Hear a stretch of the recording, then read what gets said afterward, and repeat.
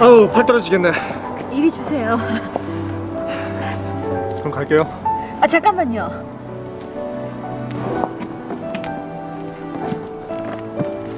자, 이거요. 이거 나 준다고요?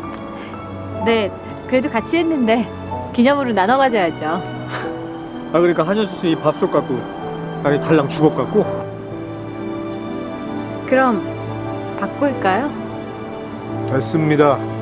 나뭐 밥솥 있어봐서 필요도 없고.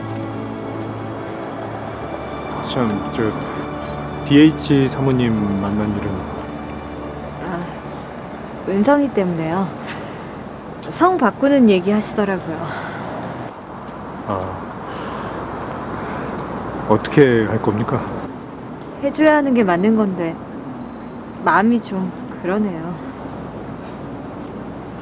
신이한테 우리 은성이 맡겨도 될지 아직 확신이 안 서요. 그 집에서 우리 은성이가 정말 행복하게 잘 자랄지 내가 잘한 건지 잘 모르겠어요.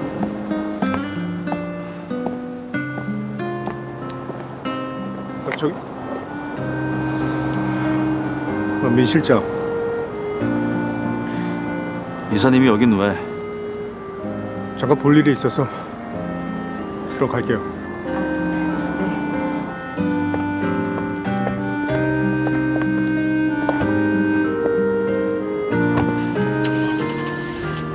네. 이사님이 여기 왜 왔어?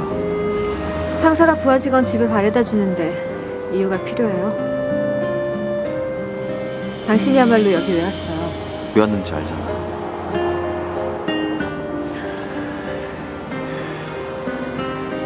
망설인 이유가 뭐야? 오늘 아침에 당신 집 옆에 갔다 은성이 봤어요.